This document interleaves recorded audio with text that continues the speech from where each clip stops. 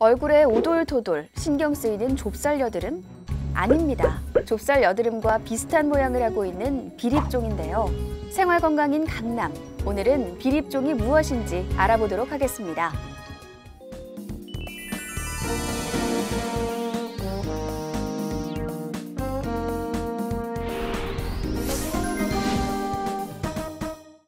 눈가에 자그마하게 자리 잡은 이 비립종. 여성 대표 아이콘 이효리 씨에게도 고민거리 중 하나라는 이 비립종은 무엇일까요? 비립종은 각질 덩어리가 어, 뭉쳐가지고 표피 아래쪽에 작게 덩어리를 형성하는 게 비립종입니다. 비립종이 생기는 원인으로는 어, 대부분 이제 유아나 어른에 있어서 원인 없이 생기는 경우가 많고요. 원인이 있는 2차적인 발생, 2차적으로 발생하는 경우에는 어떤 외상이 있거나 어, 햇빛에 의해 어, 노화가 진행됐을 때도 비립종이 발생할 수 있고요. 밀폐형 보습제를 뭐 과도하게 사용했을 경우에도 각질이 배출되지 않아서 발생할 수 있습니다.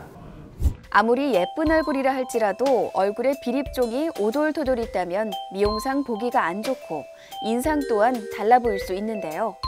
여성의 경우에는 유분기가 다량으로 함유된 아이크림이나 선크림, 마스카라와 같은 화장품으로 인해 생기는 경우도 있다고 합니다.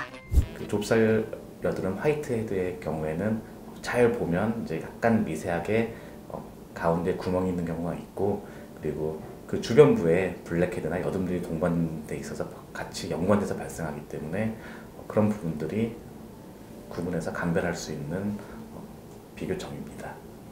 비립종을 처음 겪은 사람들은 점차적으로 비립종이 감염 반경을 넓히지 않을까 걱정하는데요. 비립종은 감염과는 직접적인 관련이 없다고 하니까 번질 우려는 하지 않으셔도 됩니다.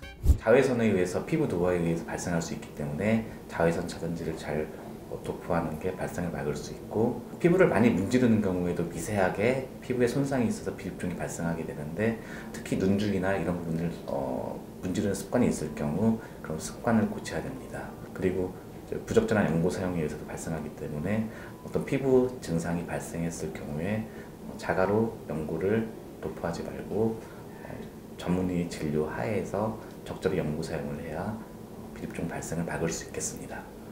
네, 강남 구민 여러분 어, 피부에 그런 비립종과 같은 어, 증상이 발생했을 경우에 어, 또 발생을 예방하기 위해서 앞서 말씀드린 방법들을 잘 실천하시고 어, 그런 증상이 발생했을 경우에 어, 저희 아이디 피부과로 내원하셔서 어, 예방하고 치료를 받으시기 바랍니다. 얼굴 위에 비립종, 깨끗하고 매끈한 피부를 갖고 싶다면 꼭 치료하시기 바랍니다.